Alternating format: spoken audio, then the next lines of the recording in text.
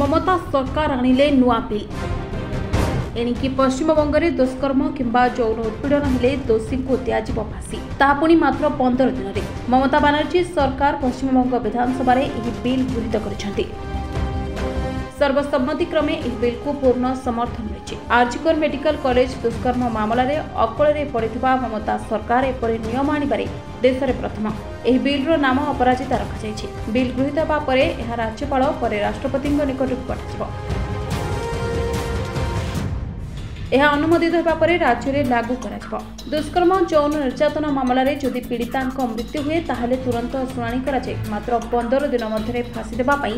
ବିଲ୍ରେ ନିୟମ ଅଣାଯାଇଛି ସେହିପରି ଏହି ମାମଲାରେ ଦୋଷୀ ସାବ୍ୟସ୍ତଙ୍କୁ ଆଜୀବନ କାରାଦଣ୍ଡ ଦେବା ସହ ପାରୋଲ୍ ପ୍ରଦାନ କରାଯିବ ନାହିଁ ଏହି ମାମଲାର ଅଭିଯୁକ୍ତଙ୍କୁ ତ୍ୱରିତ କଠୋର ଦଣ୍ଡ ଦେବାକୁ ଏହି ନିୟମ ଅଣାଯାଇଛି